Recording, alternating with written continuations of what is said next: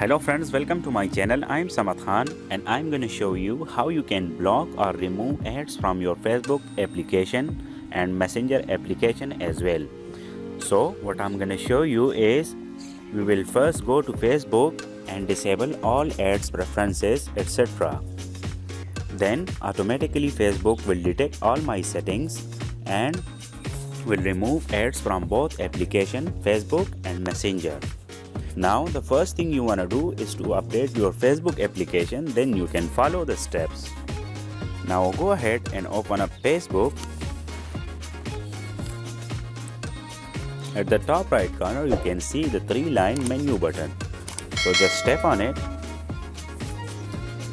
Scroll down to the very bottom and tap on settings and privacy option. And hit the settings option from there. Now scroll down a little bit until you see the ads section. Review how we use data to make the ads you see more relevant.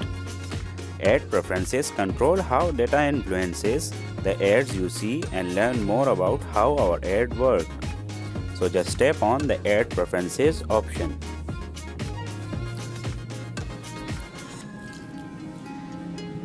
Now here the first thing you wanna do is to see all your interests so just tap on this option. So here what you wanna do is to remove all your interest one by one.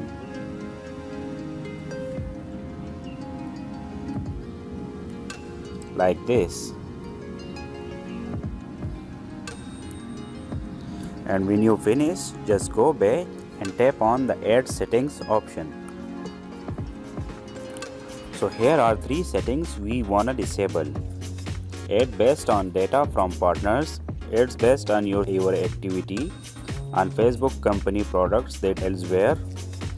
Ad that includes your social action. So the first thing we wanna do is to tap on the first option.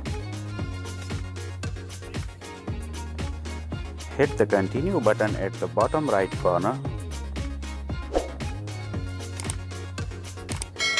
See ads based on data from partners by default it's allowed. So just tap the toggle to disable this option and hit the save button. Hit done and that's it. Now go to the second option and hit the no button. And that's it. Now go to the third option Hit the continue button at the bottom right corner. Show ads that include my social actions too. Tap this option and select no one. Now hit the save button at the bottom right corner. Hit done and that's it. There is another option hide ad topics. Just tap on this option and there are three things you wanna disable. So the first thing is alcohol, the second is parenting and the third one is speeds. So the first tap the first option and tap the option hide permanently. Go back and tap the second option parenting and tap the option hide permanently. Now go back and tap the third option Pets and tap the option Hide permanently. And that's it. Now just close your Facebook application and restart your smart device.